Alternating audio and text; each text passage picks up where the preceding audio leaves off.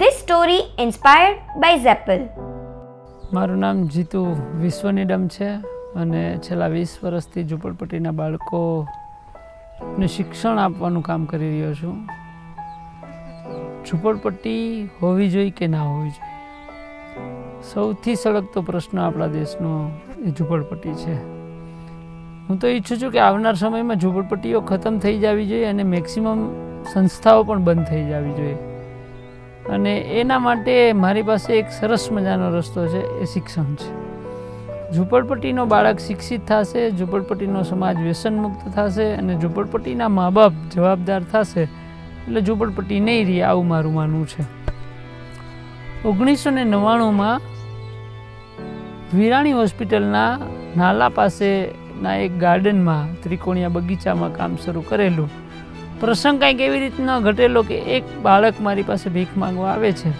એટલે એક રૂપિયો છોકરાએ માગ્યો કે મારે ચણા ખાવા છે અને મેં કીધું કે બેટા, એક કામ કરું, હું તને મારી ઘરે લઈ જાઉં અને તને રહેવાનું, જમવાનું અને સારી સ્કૂલ પણ આપું અને રોજ દસ રૂપિયા વાપરવાના આપીશ. હું કહું એટલું કામ કરજે.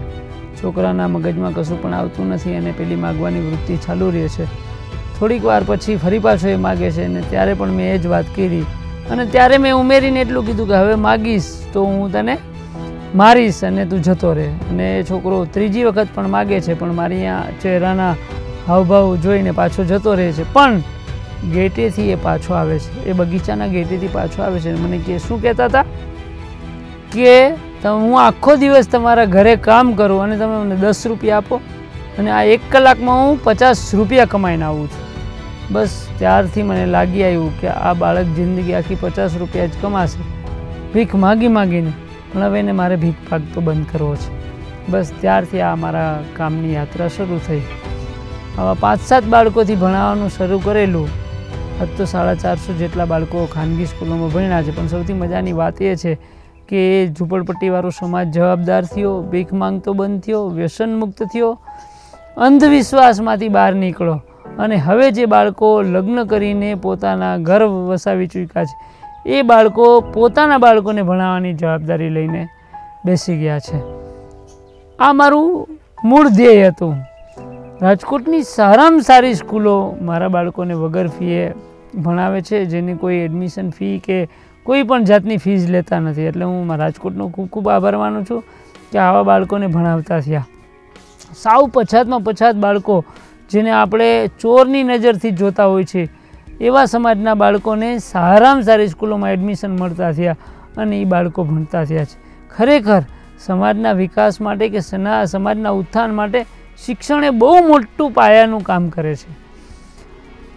રાજકોટમાં ઓગણીસો નવ્વાણુંથી આ કામની શરૂઆત કરેલી અને ધીમે ધીમે ધીમે ઘણી બધી સંસ્થાઓ, ઘણા બધા મોટા દાતાઓના મદદથી ત્રણ બસો પણ અમને મળેલી છે, જેના દ્વારા અમે બાળકોને ટ્રાન્સપોર્ટેશન આપીએ છીએ. બે હોસ્ટેલ પણ હતી, હેપી હોમ હતી, જેમાં બાળકો રહેતા હતા. અને હવે બાળકો માટે અમે ગુરુકુલમ બનાવવા જઈ રહ્યા છીએ, જેમાં બાળકોને સર્વાંગી શિક્ષણ આપવામાં આવશે. માત્ર પાઠ્યપુસ્તકોનું જ જ્ઞાન નહીં, પણ જીવનલક્ષી જ્ઞાન, જેથી કરીને હવે નોકરીઓની તકલીફ છે, ત્યારે બાળકો પોતાના નાના નાના રોજગારો ઊભા કરી અને પોતાના ઘરને સમૃદ્ધ બનાવે અને પોતાના સમાજને પણ સમૃદ્ધ બનાવે.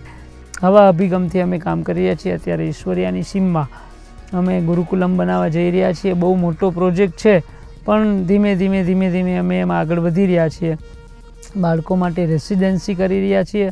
તેમાં રહેવા, જમવાની સુવિધાઓ, સાથે સાથે બાળકોને કિચનિંગ, ગાર્ડનિંગ ગૌપાલન, પશુપાલન અને ફાર્મિંગનું પણ એજ્યુકેશન આપવાના છે. એની સાથે સાથે ટેકનોલોજીનું કોમ્પ્યુટર છે ડાન્સ છે ડ્રામા છે પોએટ પોએટ્રી છે.